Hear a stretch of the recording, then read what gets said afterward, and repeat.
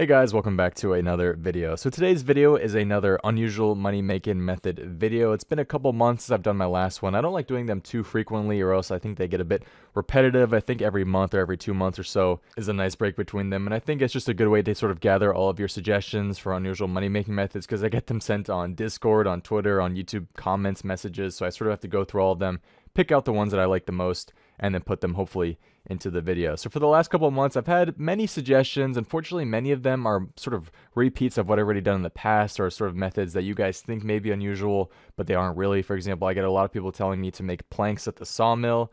And, you know, while I guess not many people do that, it's a pretty known method. It's not really unusual, something people, you know, do daily for their money. So many of the times I sort of have to sort of think of my own ones or just sort of look at the market and see what could potentially make me some money. Now today's video I think is pretty great because I made actually quite a bit of profit, some of the most I've ever made on the unusual money making method series. Now this is a fair warning to you, just because I made profit on them does that mean you're going to make profit off them. Okay, these money making method videos always tend to go either way. Some people, a lot of people really like them, and some people just hate money making methods in general because you're like, you ruined my money making method. And I'm guessing, you know, some of you may have tried these out in the past, but not many of you do this consistently every day to make money. That being said, if you guys do enjoy these videos, make sure to drop a like and don't forget to comment your unusual way to make money. If you want me to test it out and put it in a video, send me a Twitter DM, send me a YouTube message or a YouTube comment. I'll go through all of them, and if I like it enough and it makes me enough money, I'll put it in the next unusual money making method video. So up first, we have a method that I'm sure many of you guys have heard of in the past. It's just one that I sort of always avoided because of the Grand Exchange prices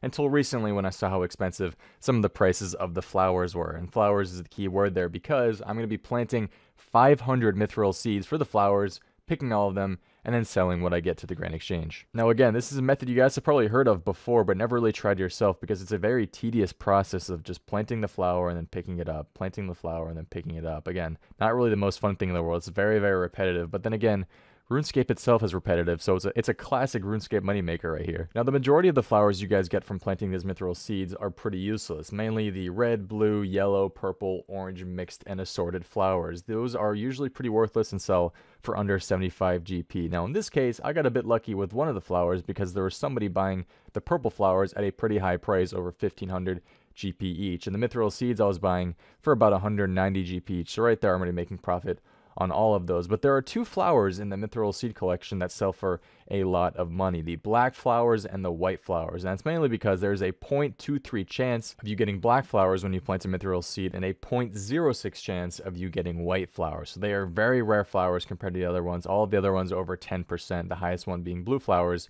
and orange flowers at 15.3%. So as you can imagine, the black and white flowers are going to be a lot more expensive since they're so much rare from the Mithril seeds. The wiki explains it pretty well, so if you want more info, you can check it out there. But in my case, I decided to go for 500 Mithril seeds just to see if I can get lucky with some black and white flowers. Planting and picking the 500 mithril seeds took about half an hour. It's a very tedious and annoying process, something I did not enjoy, but the end result is what I was really curious in just to see how much money I could make. And from the final loot from the 500 mithril seeds, I managed to get three white flowers and three black flowers. So at least we didn't go dry on either of those, and we can make some money off of it. In terms of the flowers that I got, it was pretty consistent with what the percentages were on the wiki, and all of them sold for pretty much what I expected them to sell for, except as I mentioned earlier, for the purple flowers, which sold for 14.50 each. So I sold 72 of those for 104k. So right there, I had already made all my money back. And then the black flowers sold for 101k each, and then the white flowers sold for 182k each. So off those two flowers, the black and white flowers, I sold six of them combined for over 849k, which uh, is pretty much all of my profit, but the fact I made that much just off those six flowers was pretty insane. I bought the 500 mithril seeds for 93k on the Grand Exchange, and I sold all the flowers for 962k on the Grand Exchange. So I made 10 times the amount of the original cash deck I had 93k, which was very unexpected. I didn't look at the prices of the flowers beforehand, so to see them go for that much totally caught me off guard and now I've made 900k plus. Now the thing is, as I mentioned, these flowers are very inconsistent in terms of their prices on the Grand Exchange. So one day I could have probably made maybe only a couple hundred k and another day I could have made even more, who knows. We can technically say that this method is 1 million plus GP per hour since those 500 myth seeds only took me about 35 minutes to plant and pick. But again, the prices vary so much. I wouldn't try this one out. I think I just got very lucky. But I thought I'd show it to you guys because it is a bit unusual and the profit was very surprising. So this next moneymaker comes to us from Josher2K on Twitter. Thank you, Josh, for the DM. I do greatly appreciate it. And we're going to be turning coconuts into coconut milk. Now, this is one of those methods, and it's one of these items that I just totally forgot even existed. Coconut milk is an item in the game. I've definitely seen it before. I've definitely probably used it before. It's just an item that I totally forgot even existed, and I could totally just figure out you could use a hammer on a coconut, and if you have vials in your inventory, you can use them on the vials, and you get yourself some lovely coconut milk. Not a huge fan of coconuts myself, but I'm sure some of you are. Coconuts actually used to be pretty expensive, but then... Long ago, the four nations lived together in harmony. Then, everything changed. Zulrah came into the game. So uh, yeah, Zulrah, thank you for that. So coconuts nowadays go for about 120 GP on the Grand Exchange, so very, very cheap to what they were before Zulrah came into the game. And actually, the coconut milk goes for about 300 to 350 GP. The GE price is a bit different than what the price actually is. It says that it's going for 400, and maybe people actually do buy for 400 when the demand is there, but I managed to sell mine for about 300 GP each. So per coconut milk that I'm making, I'm making about 200 GP profit per one. But the process of turning these coconuts into coconut milk is a bit tedious because you have to use a hammer on the coconuts themselves and they turn into these half coconuts with the milk inside of them. And then you have to use the coconuts on the vial of water and then you get yourself the cono- the what? The coconut milk. It's pretty click intensive because you have to individually click on the coconut when turning them into the half coconuts, and then you have to use the coconuts on the vial to click all of them. There's not an automated process that does it for you, so pretty click intensive, I guess. You're also left with a bunch of these coconut shells, which you can actually use to make super compost. They're actually the cheapest option, but the thing I found interesting is that you can put these into the Grand Exchange price check thing, uh, which usually isn't possible because these aren't tradable. You can't trade them to people. So the fact that you can put them into the price guide, I found, I think there are some items that you can actually put into the price guide, but you can't actually trade on the Grand Exchange. Maybe I'm, I'm losing it right now, but that, I just found that a bit weird. So from the original 100 that I bought, I actually made 19K, and this process took all of five minutes, so actually really not too bad. But I decided to take it one step further and buy a thousand of these coconuts and absolutely ruin my wrist in hopes of making a bit more money. Now this took a lot longer than I wanted to, almost close to an hour. And when I finally finished, I sold all of it and made a grand total of about 190k. So, yeah, not the most money you can make from an unusual moneymaker, but I found this one incredibly unusual, which is the main point of this series, is just to find unusual moneymakers. It's not to find the best moneymakers in the game, it's just to find unusual ways to make money, and this is unusual, and I made money. So thank you, Josh, again for the suggestion.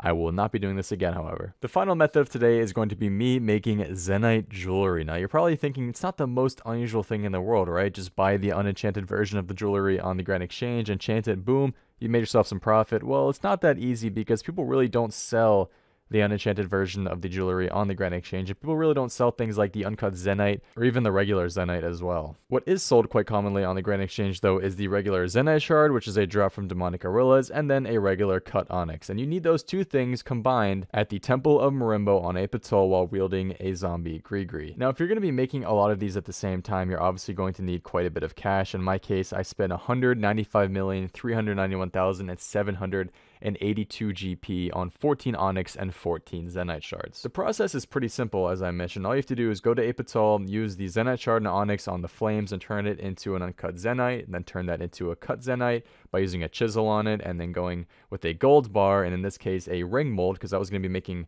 rings of suffering and then go to any furnace, turn them into the Zenyte ring, enchant them with level 7 enchant, and boom, we have a bunch of Zenyte jewelry, in this case, the Ring of Suffering. I did also spend about 100k on the level 7 enchant supplies, because if you're doing 14 of those enchants, it's 20 blood runes and 20 soul runes, as well as a cosmic rune per enchant, so it actually adds up to quite a bit. Now, I decided to choose Rings of Suffering because the night before I noticed that they were selling for 14.2 million GP, which means I can make up to 200k profit per Ring of Suffering that I was making. But unfortunately, the prices dropped overnight by about 150k or so, so I didn't make as much profit as I thought I would. I ended up selling those Rings of Suffering for about 14 million GP each, and if we add on the 100k, which was the cost of the enchanting, we can see that I made about 500k off of those Rings of Suffering. Now, obviously, this is still very, very good. The entire process of turning all of those Zenyte shards and onyxes into this jewelry took all of like five minutes. A very, very quick process. So to make 500K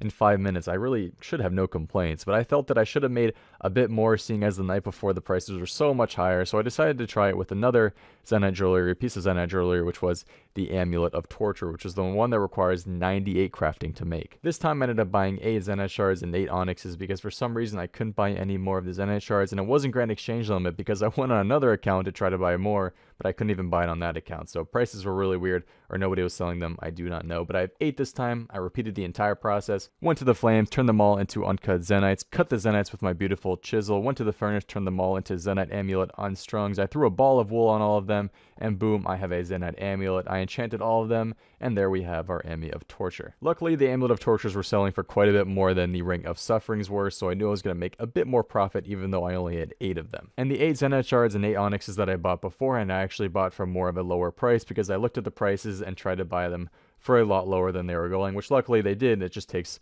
a bit more time. The torture is sold within about 5 minutes or so, which is very, very nice. And if we look at the cost of supplies in the beginning, we're going to add about 50k for the cost of the level 7 enchant. We can say that my cost of supplies were 111 million 600,000 GP, and we sold the torches for 112 million 410,000 GP. So this time we made about 800k profit on the Amulet of Tortures. For how fast the process is of turning the Zenyte Shard and Onyx into whatever jewelry you want, I have to say that the profit is really, really good. Now obviously the only down thing is, or downside is, that you need to have a high crafting level. In this case, 98 crafting for the Amulet of Tortures, and I think for the Suffering, it's 89 crafting. I lost so much money on crafting that this really doesn't make up for it at the end of the day, but it is sort of cool to see that a high crafting level you can make lots of money off something like Zenyte jewelry, which I found unusual and pretty cool. Now the thing is, these prices sort of vary. The Zenyte jewelry sometimes crashes, it sometimes goes up depending on if a new boss is released or if you know people are panic selling or panic buying. It, it really depends on the prices on the GE. So you can lose money off this, you can make a lot more money off this. And I think next time that maybe a new boss is released and one of these things is on is in high demand,